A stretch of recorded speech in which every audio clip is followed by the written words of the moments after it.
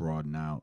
You start to say, okay, well, I've created this show. What's next? Or what else? What else can I do in this show? What else can I do to not only just expand my brand, but maybe even generate a couple of dollars here or there to uh, make it, you know, to reap the benefits of my. Um, Well, you know, you said, what else can I do?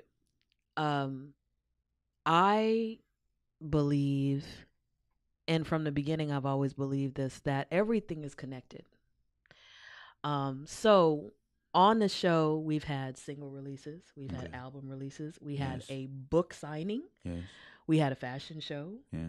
we had Pure Justice come out and do basically a little five minute. If you have a record, you have been charged with something, we're going to have a free clinic with legal aid. We can possibly tell you if you can get your record expunged. hmm Come on out, X date, X place. Anybody, anybody you know, family, friends, relatives, we want everybody there so that we can try to get as many people um, you know, helped with their records or criminal records as possible. So we've done that. We've done a coat drive. We've done a blanket drive. We did a reach outreach to the homeless. We did what else? Toy drive. Um, I'm leaving some stuff out. You know, we did a bunch of stuff Yeah. through music, comedy, and poetry. Yeah.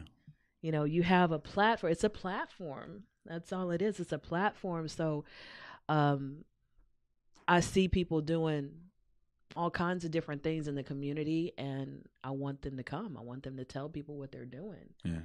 and you know i can help you. I had a realtor come and talk to the audience you know about um home ownership and you know home ownership and all that. And so again there's life and life has many aspects and Mhm. so we can do edutainment Oh yeah. Yeah.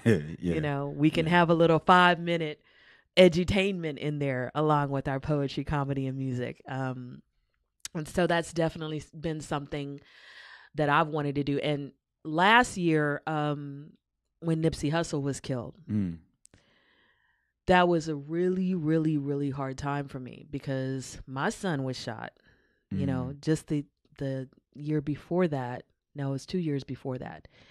And i could only imagine what his mother and his family was going through because nipsey hussle and my son could be brothers just their facial you know Mhm. everything I, when i saw those pictures i was like and i had never really looked at him that way but seeing you know what i'm saying him in that situation it just brought back all of those days and um you know in the emergency room and in the hospital room and all the days of recovery when they said my son wouldn't walk again Mm. he might have a colostomy bag and all these i mean god blessed us so much he doesn't have anything any Yeah. of those problems Yeah.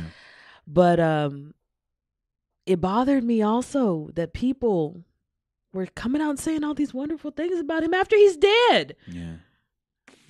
and so um I just couldn't I turned off the social media, I turned off the TV. I didn't want to hear any more about it. And then it kept bothering me, it kept bothering me and I said, "You know what? We have a lot of black men that do so many amazing things and nobody says a thing." Mm.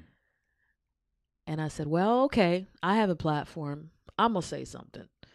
So I put out a call on